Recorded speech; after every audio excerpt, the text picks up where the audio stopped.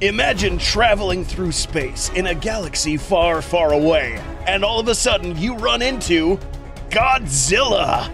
In this video, we will discuss how the G Man would look if he appeared in Lord of the Rings, Game of Thrones, and in Star Wars. Watch as Goji Center joins forces with Dangerville, KNO, and Alteori to bring these new versions of Godzilla to life.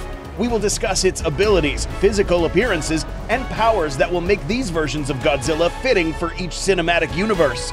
So sit back and stay with us until the end as we reveal Godzilla in Middle Earth, Westeros, and in another universe. What is going on, ladies and gentlemen? You heard Steve, and today we are going to talk about Godzilla and how he will look like in Star Wars, Westeros, and Middle Earth. So today we have the boys from Dangerville, Jacob and Al. What's up? How you guys doing? We're doing good. Glad to be here once again. Got some cool Terrible. I'm doing terrible. He's doing terrible. Well, you're gonna do this I mean, anyway. I'm, I'm, I mean, good. Sorry. Okay, Go on. yeah. Um, so also we have Jacob from Kaiju News Outlet and Alteori. So how are you guys doing? Doing amazing.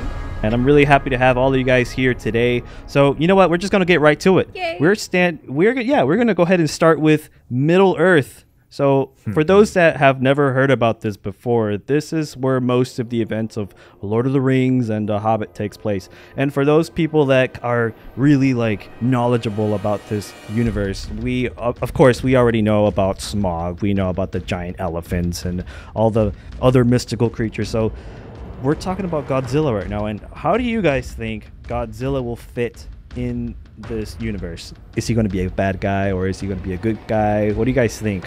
Knowing Godzilla and how he would fit here.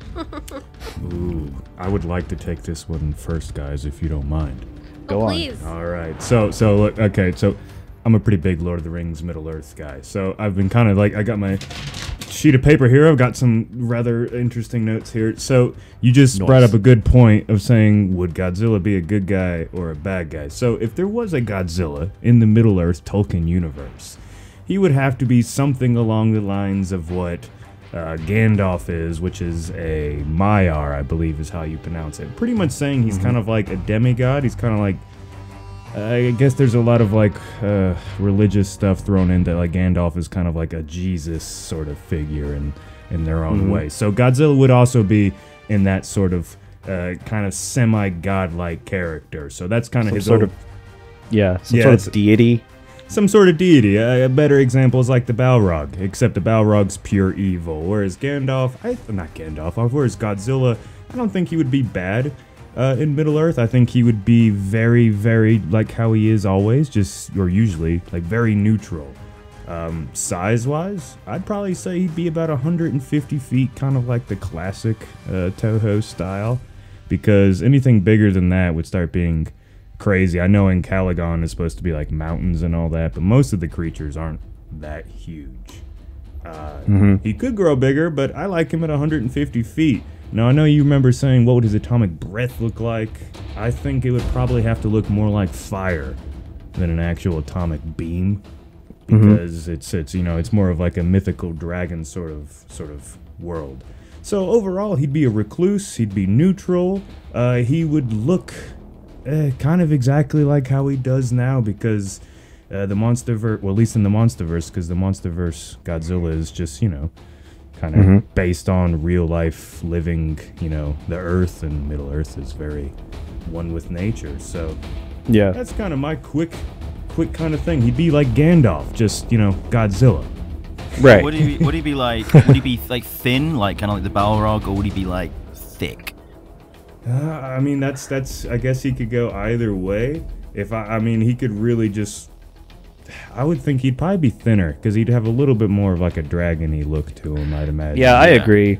Hmm More towards like like more muscular, thinner. Uh, I guess less fat, maybe less thick, like you guys are saying. Yeah, because mhm, like in the MonsterVerse, we see Godzilla. I mean, he's more on the thicker side, but he's also really muscular too.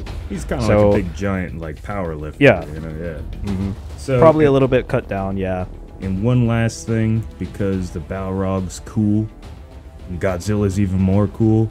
Blue fire's like spewing off around his back and stuff constantly. You know how the Balrog's always on fire, except with mm-hmm. Godzilla, it's blue atomic fire. He's a little skinnier. He's got maybe a couple horns sticking up because he's a little bit more like a dragon because this is like you know medieval fantasy. And there you go. That's my that's my view on him in Middle Earth. I'll let one of you guys go next. Yeah, I'm I'm a little bit troubled with the mix of blue uh, on his dorsal plates, and I'm trying to remember what you said. Uh, did you say like he gives out like fire, like red or orange fire, or is it like also blue? I, I forgot. It can be it can be blue, it can be red, it can be anything. I'm just thinking since Godzilla normally has his blue atomic powers. So and the Balrog likes to have the flames that are coming up his back. Uh, and you'll find, you know, the flames are all around him. So if this Godzilla in Middle Earth is a deity like the Balrog, we can throw in there that he's got some maybe nicer colors, maybe some blue and a little bit of green in there. I guess uh, based on the uh, you know the kind of terrain that's in Middle Earth, I think it would be quite a lot of like volcano-ish kind of influences. So say if you like might leave some like fiery, you know, debris like as in his wake, you know, like on his footsteps, they might still be on fire. Like there's a kind of like that mythical. Uh, magic kind of aspect to him so it would be like you know how godzilla leaves radiation behind and this this time it's like fire uh, and the creature I was mainly looking at for like physical appearance was kind of like the fell beast, you know, the, the dragony kind of creatures oh, that we see in Lord of the Rings. They've got like mm-hmm. this almost shark-like color palette where it's like grey on the top, up top and kind of lighter grey underneath, and that's to blend in with you know the the rocky mountainous terrain. And I think Godzilla would kind of have that that similar attribute, you know. Aren't there these tree creatures in Lord of the Rings that they were riding on at one point? Yes, the Ents. Yes. I was thinking, honestly, for me personally, I just feel like Godzilla in Middle Earth would look like Godzilla Earth. He would be a force of nature, ah. and he would just be one of those ancient, you know, deities like you explained. He would be wooden, but not like completely made of wood, but kind of like those tree creatures, the Ents that you were talking about. He'd be slow moving, but very, very powerful, but also very gentle. So, but then he's the kind of creature that if anyone messes with him and gets him angry, everyone's like, no, we gotta appease him because then he could actually destroy the whole area. Um, that's what I think of. I don't think of him like radioactive or anything like that. I think of him more of like a magical, mystical creature that would live in the world that the Ents live in. No, yeah, I, I agree with that because with what you were mentioning, uh, Dangerville Jacob, and with Godzilla Earth, it kind of uh, I, I know Godzilla Earth looks more like he's made out of like some like you know twisted It's like a plant knife, Yeah, hmm yeah, but I think they're aesthetically you could be able to mix those into something that works. And you can mix these into something that works. Check this out. This version of Godzilla is probably not as large as the other big G's like in Godzilla Earth or Legendary's incarnation. This Godzilla is more scaled to its surroundings, measuring anywhere between 150 to 200 feet in height. This Godzilla could take a more grotesque and organic look, similar to what we saw in Godzilla Earth, and slightly volcanic in nature, at least in some parts of its body. Its dragon like features can be seen in some parts of its body, such as its dorsals, and maybe even some horned features on its brows. The magical aesthetic can be seen in how its dorsals glow, perhaps with a few color variations, and maybe also seen in its atomic breath. This is truly a unique Godzilla. But what if we travel to Westeros? What would the G Man look like there? We're gonna go ahead and move on to Game of Thrones, Westeros. So, uh, yes, as we know, Westeros is uh, kind of like a landform that is shaped like uh, Great Britain. Am I correct here? Yeah, kind of. I think. Uh, It's yeah, kind of. I think it's yeah. based. Yeah, I think it's based off of that, and we don't see too many uh, monsters here on Game of Thrones, but we do see a lot of dragons, a lot of serpents, and a lot of other, uh, you know, semi-mythical creatures here. Well, most of what we see in the show, um, I know there's different types of creatures in the book, but um, in the show, the most outlandish mythical creature that you see are the dragons. That's Right. the main focus. Everything else has kind of like this magical uh, aspect to it. They're usually humanoid figures, like the what are they called again? The tree elf people. They're the ones that made the White Walkers in the first place. Oh, fight like the first the, men. the the the girls. There's some. Yeah, some they look like they're made of wood. or something. Yeah. yeah. So you have that, and then you have these White Walkers. Um, everything else, every other creature, seems to be like an offshoot of that. You have these undead horses and undead bears and stuff, but they're usually just regular animals. So I think if Godzilla was going to be in this universe, he would look more animalistic um, and less. He would be more realistic, grounded in reality. Because funny enough, when I was looking at one of the behind the scenes for the Game of Thrones, they wanted the people who designed the dragons wanted them to be more believable as creatures that could have existed. They don't just breathe fire like Disney dragons do. They actually have liquid that comes out of two sides of their mouths that hits and ignites. Um, They can be killed very easily. They don't have hard scales that protect them unless they're wearing armor. So I think if Godzilla were to be a part of this, he would be kind of another uh, breed or species of dragon, maybe a wingless dragon with slimmer features. He'd probably be able to spew fire, or honestly, it would probably be another species of dragon that could spew acid or something else just for dramatic effect. Kind of like that How to Train Your Dragon type of situation where you have different dragons, and based on their environment or what they hunt, they have different means of spewing certain things out of their mouth. It doesn't always have to be fire. So I think he'd be smaller. He wouldn't be as large as we see him even in the legendary. Um, and like Viserion, the dragon who got changed. Uh, I'm sorry for spoiling it for anyone, but the dragon that got changed over by the White Walker, the stuff that he spews will change based on what side that he's on. So if he's just normal, he'd probably just spew acid or fire. If he gets taken by the White Walkers, then it would look different. But I just think he would be more grounded in reality, um, even more so than what we see in the legendary movies. Yeah, I'm curious as to where he would live. Would he live more like up north where it's icy, or would he still maintain his aquatic? He would still maintain uh, his aquatic. I could see that being a thing because you remember there's a, a whole lot of sea in the Game of Thrones universe as well, and people don't really explore that. But I think that it would be interesting because you have the dragons for the Targaryens. I think it would be Mm-hmm. interesting to see that the uh, oh my god, what are they called? The people who uh, have the ships. Uh, Oh, the guy who got his balls chopped off. Iron- the, uh, The Theon Ironborn? Greyjoy. Iron Yeah, the Iron Oh, yeah, the Boy. Greyjoy. Yeah, Yeah, the Iron guys. I, I think it would be interesting if we see them also have their own type of creature, like a sea creature that probably uh, that story is handed down from generations. A leviathan that lives out there. That leviathan would probably be Godzilla. Does Yeah. does Game of Thrones have like an equivalent to Loch Ness that he could live in? Nah, uh, they not don't really focus on that. No, know I mean, I'm sure there is, but you don't really hear about that. There is something mean- that comes up in Game of Thrones towards the end is what's west of Westeros? Well, maybe Ah, Godzilla. yeah. Maybe Godzilla think they is are west going of. Westeros. And the south. Yeah, Yeah, that- we don't that's a good where the other concept, parts yeah. of the planet or the globe is. It's kind of like the Middle Earth once again. It's like we're literally on just like the corner of a country, and the rest of the entire globe is like unknown. So Yeah, we haven't explored a whole lot of it yet. And Drogon, Mm-hmm. Yeah. I think Drogon was actually going there. Wasn't he going south? I think at the end of the I think movie. they said he's going east, which you know he could. Who knows? Maybe maybe he's going. They'd be like Godzilla. Look, they killed my queen mother. Uh, dang, I need your help, and that's what this new series is going to be. about. exactly. Uh, let, let's go ahead and answer these questions. Would he be a protagonist, antagonist, or just simply a force of nature? I think he'd also be a force of nature, to be honest.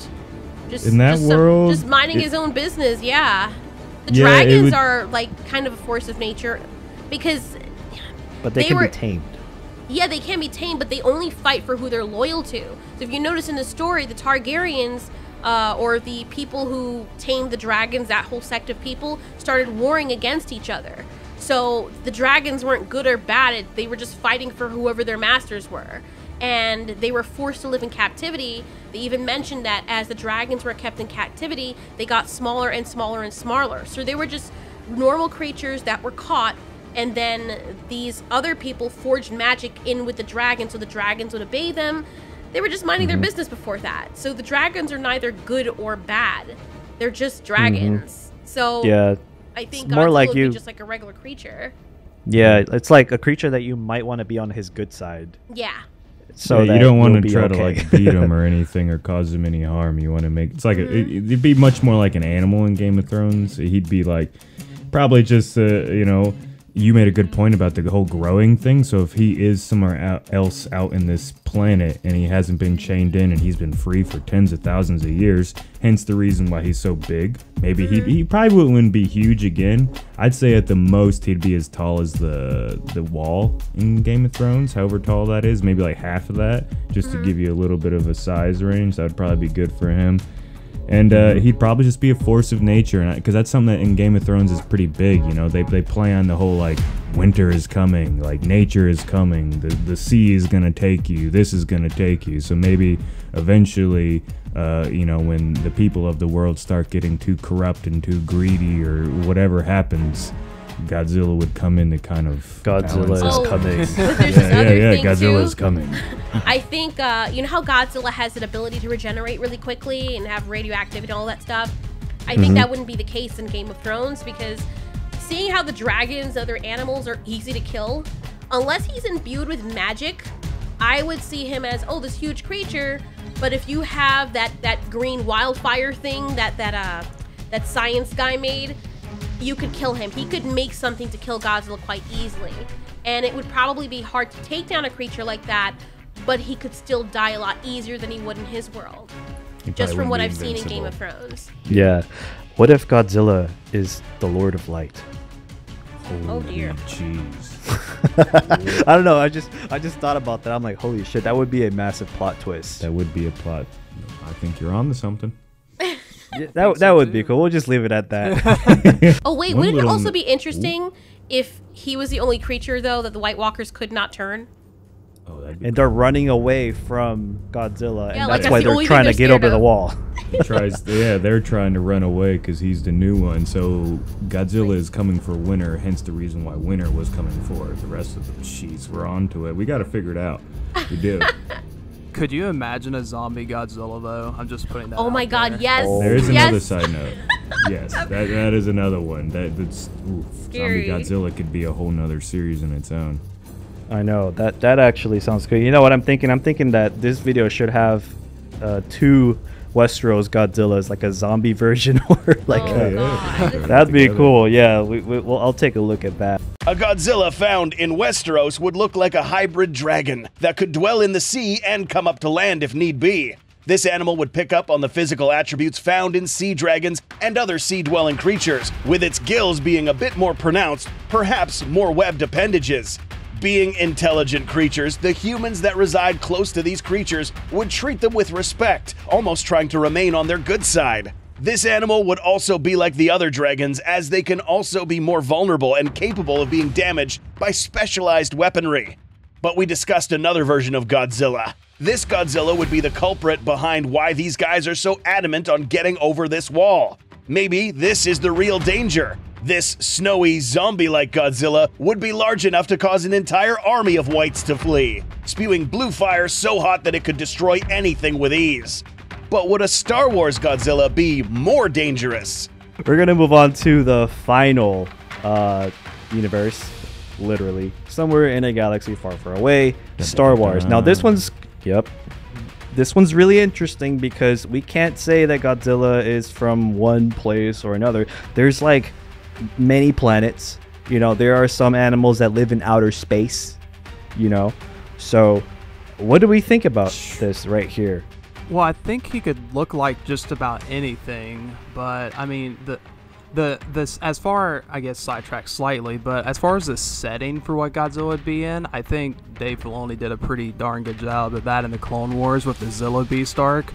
Those two episodes because this literally has everything from Godzilla and Kong cameos to laser tanks practically. So I think if you're looking for the setting, it would be like that. But as far as Godzilla's actual appearance, the one monster that for some reason just someone has popped into my head recently, what is um I believe it's Gor, which is General Grievous's like lair Oh, guardian yes. from the Clone Wars episode where they invade his um lair.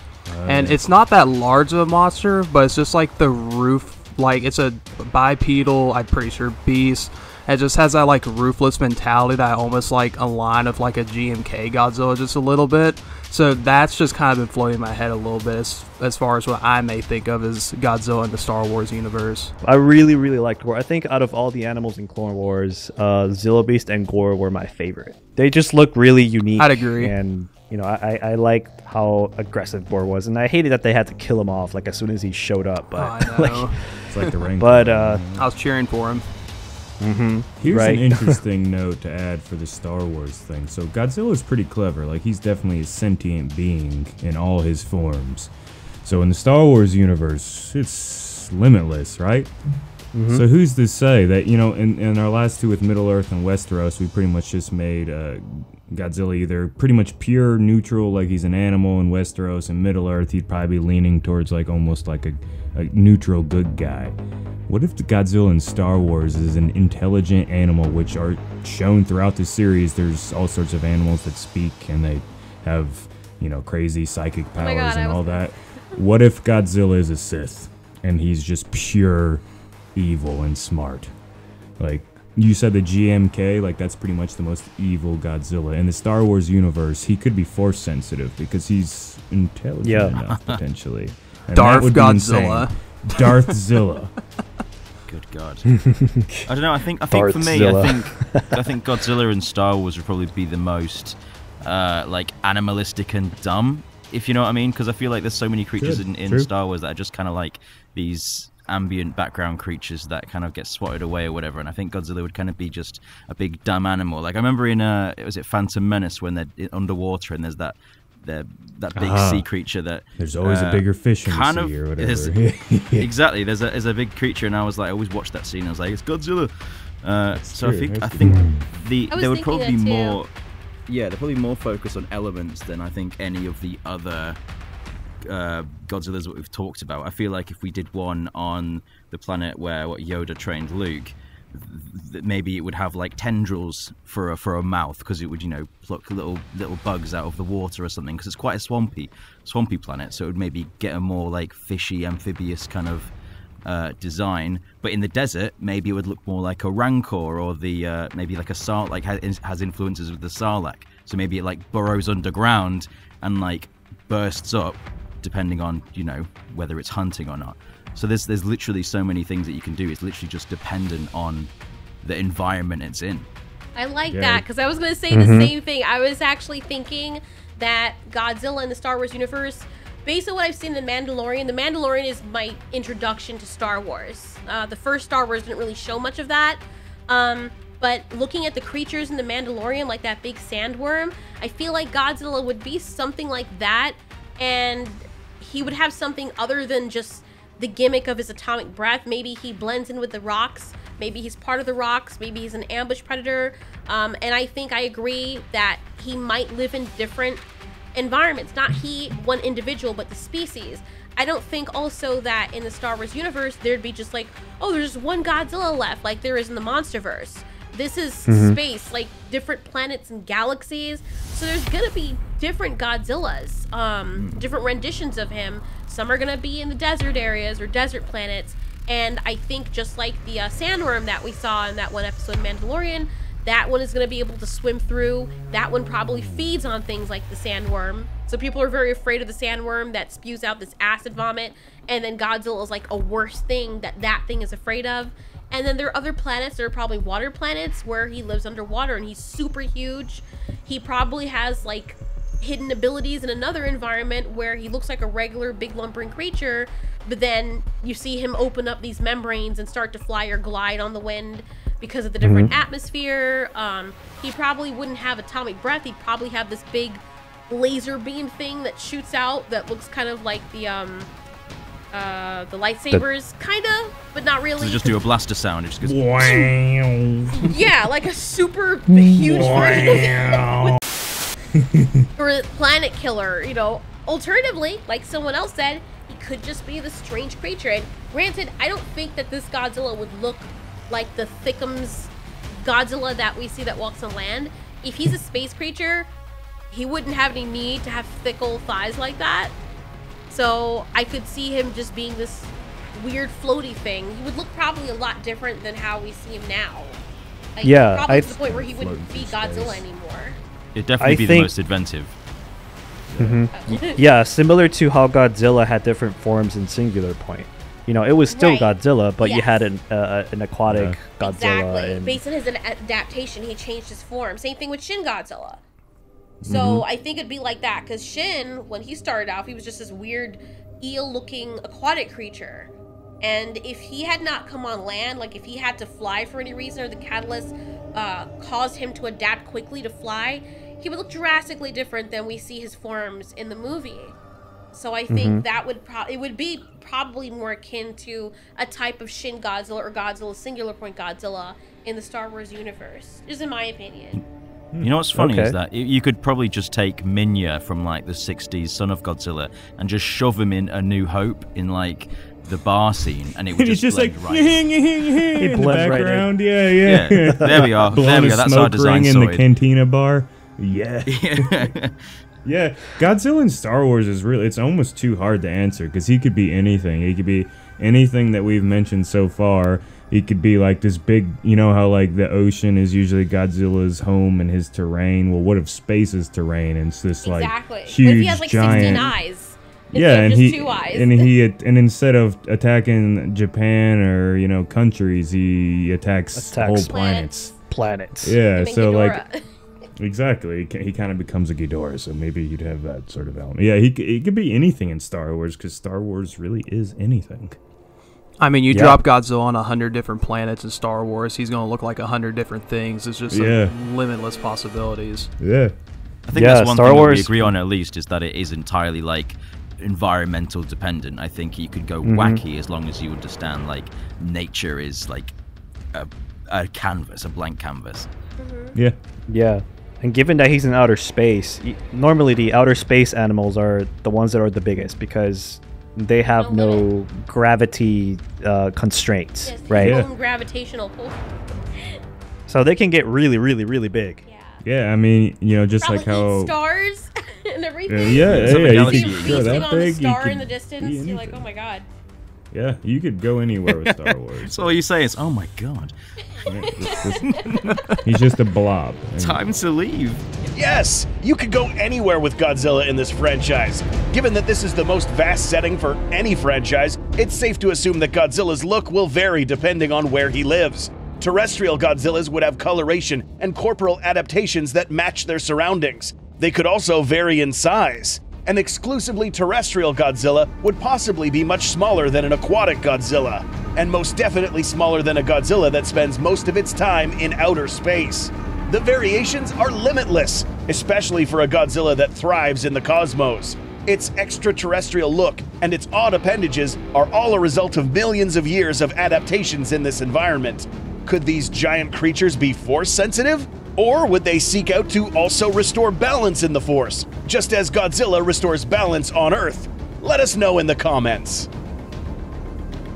Well, I gotta say, my favorite concept or concepts for Godzilla obviously has been this last one, Star Wars, because it could go literally anywhere. It's anything. You yeah. could, yeah, you could you could put him in this planet. You could put him in outer space, underwater. I mean, eh, eh, this is the perfect place for a space Godzilla. As you can see, Godzilla is one of the creatures that can be in any single cinematic universe, but you can still make it into a Godzilla. And I remember uh, I was in another podcast over on da- over with Dangerville, and we mentioned just that that Godzilla. The beauty about this animal is that you can put him anywhere, and it'll still be a Godzilla. Yeah. So we'll go ahead and, and leave it at that. Uh, thank you guys for listening to this point. Uh, make sure you subscribe to Dangerville. Make sure you subscribe to Alteori and follow Kaiju News Outlet.